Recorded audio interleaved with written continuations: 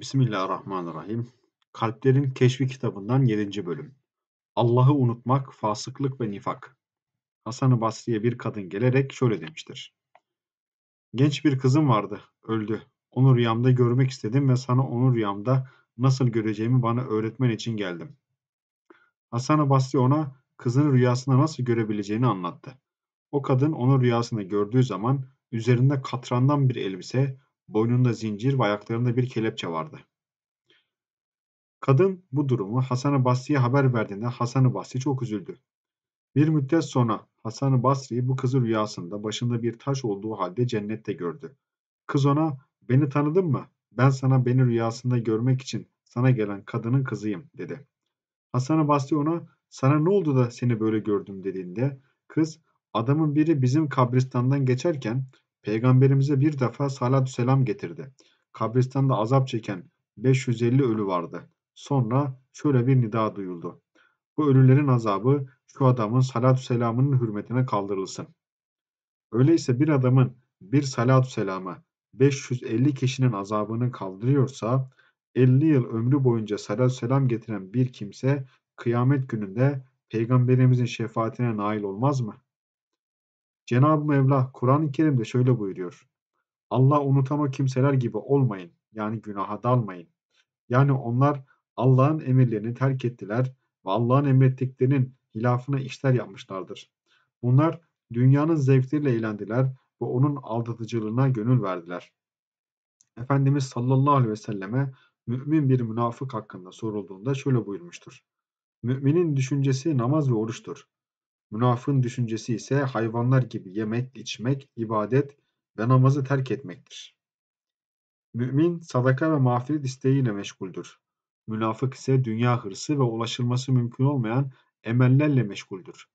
Mümin Allah'tan başka kimseye güvenmez yani tevekkül etmez. Münafık ise Allah'tan başka herkese güvenir yani umut eder. Mümin dinini dünya malına tercih eder, münafık ise dünya malına dinine tercih eder. Mümin sadece Allah'tan korkar, münafık ise Allah'tan başka herkesten korkar. Mümin iyilik eder ve gözyaşı döker, münafık ise çok güler ve kötülük işler. Mümin halvetten hoşlanır, münafık ise kalabalıktan hoşlanır. Mümin üreticidir, kargaşadan korkar. Münafık ise üretici değildir, hazırdan yer. Mümin idareci ve ıslah edicidir. Münafık ise idareci olmayıp bozgunculuk yapar. Bilakis kötülüğü emreder ve iyilikten alıkoyar. Allahu Teala Kur'an-ı Kerim'de şöyle buyuruyor. Münafık erkekler ve münafık kadınlar birbirlerini birbirleri gibidirler. Kötülüğü emrederler, iyilikten alıkorlar ve cimridirler. Onlar Allah'ı unuttular. Allah da onları unuttu. Hiç şüphesiz münafıklar fasıkların ta kendileridirler. Allah erkek münafıklara da, kadın münafıklara da, kafirlere de içinde ebedi kalacakları cehennem ateşini vaat etti. O onlara yeter, Allah onlara lanet etmiştir. Onlar için devamlı bir azap vardır. Tevbe suresi 67 ve 68. ayet arası. Yine Cenab-ı Hak şöyle buyuruyor. Şüphesiz ki Allah kafirlerle münafıkları bu halde öldükleri takdirde cehennemde bir araya getirecektir. Nisa suresi 14. ayet. Yukarıdaki ayeti kerimede münafıklar önce zikredilmiştir. Çünkü onlar kafirlerden daha şerlidirler. Arkasından her iki grubunda varacakları yerin cehennem olduğu bildirilmiştir. Bir diğer ayette de Yüce Mevla şöyle buyurmaktadır. Şüphesiz ki kafirler cehennemin en alt tabakasında olacaklardır. Onlar için hiçbir yardımcı ve hiçbir kurtarıcı bulunmaz. Nisa suresi 145. ayet. Münafık sözlük anlamı itibariyle tarla faresi anlamına gelen bir kelimeden türetilmiştir. Çünkü tarla faresinin yuvasında iki delik olur. Birinden kendisini gösterir, diğerinden de çıkar gider. İşte bundan dolayı münafığa bu isim takılmıştır. Çünkü o kendisini Müslüman olarak gösterir. Fakat hakikatte Müslüman değildir, dinden çıkmıştır. Bir hadis-i şerifte Peygamberimiz sallallahu aleyhi ve sellem şöyle buyuruyor. Münafık kimsenin durumu iki sürü arasında gidip gelen kararsız koyunun durumu gibidir. Bazen o süreye bazen de bu süreye gidip gelir. Birisinde sebat etmez. Çünkü o hiçbirinden değildir. Münafık da bu şekilde ne tamamen Müslümanlarla beraber olur ne de tamamen kafirlerle beraber olur. Allahu Teala bunlar için cehennemi yedi kapılı olarak yaratmıştır.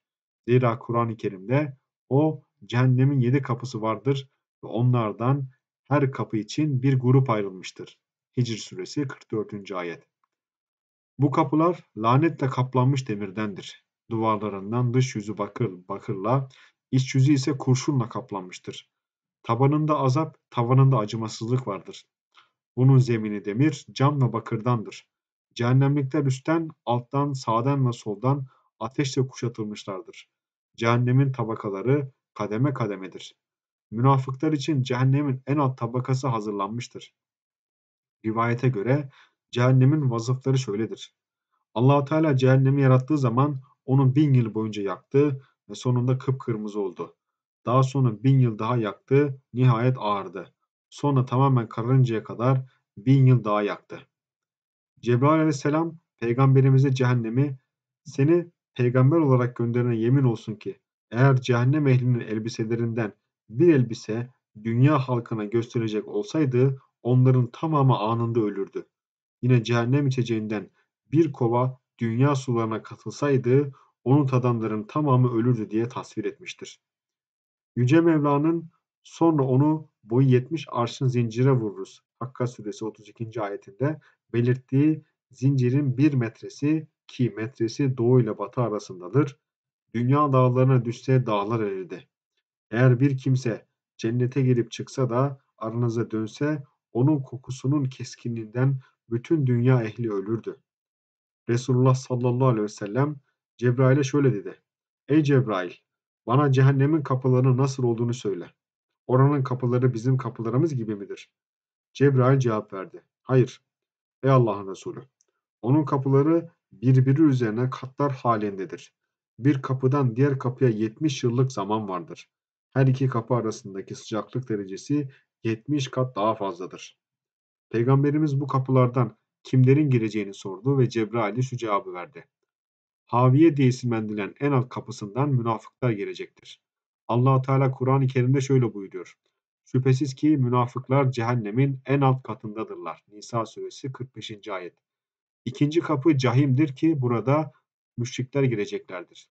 Üçüncü kapısı sakardır ki buradan yıldızlara tapanlar girecektir. Dördüncü kapının ismi lezadır ki buradan iblis ve ona tabi olan bütün mecusiler girecektir. Beşinci kapı hutamedir ki buradan Yahudiler girecektir. Altıncı kapı sairdir ki buradan Hristiyanlar girecektir. Sonra Cebrail sustu ve Peygamberimiz ona cehennemin yedinci kapısından kimlerin gireceğini niçin söylemediğini sordu. Cebrail aleyhisselam peygamberimize sallallahu aleyhi ve sellem bunu bana sorma diye cevap verdi. Peygamberimiz ısrar edince Cebrail şu karşılığı verdi. Ümmetinden büyük günah işleyip de tevbe etmeden ölenlerin gireceği kapıdır. Rivayete göre hepiniz oraya yani cehenneme mutlaka gireceksiniz. Meryem suresi 71. ayeti indiği zaman Peygamberimiz sallallahu aleyhi ve sellemin korkusu artmış ve ümmetinin vereceği hesabın zorluğundan ağlamıştı. Rabbini tanıyan ve onun azabını bilen kimse ondan tam anlamıyla korkar ve bu şiddetli anı görmeden nefsi adına ağlar. Bu korkutucu yer olan cehenneme girmemek için Allah'a yalvarır. Orada nice yaşlı insanlar vardır ki hey gidi yaşlılığım diye feryat eder. Yine orada nice genç kimseler de hey gidi gençliğim diye feryat eder. Nice kadınlar da rezilliklerine ve günahlarına feryadu figan ederler. Hiç şüphesiz orada herkesin yüzü ve bedeni kapkaradır ve belleri eğrilmiştir. Orada ne büyüklere saygı gösterilir ne de küçüklere merhamet edilir. Kadınlar ise çırılçıplaktır. Ey rahmetiyle bağışlayanların azizi olan Allah'ım!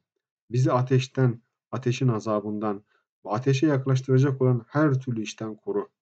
Bizi iyi, salih kimselerle beraber cennetine koy. Ey merhametlilerin en merhametlisi olan Allah'ım! Kusurlarımızı ört. Başımızdaki idarecileri güvenilir kıl.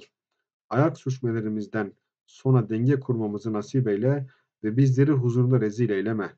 Salat ve selam Efendimiz Muhammed'e sallallahu aleyhi ve selleme ve onun yakınları ve ashabının üzerine olsun. Amin.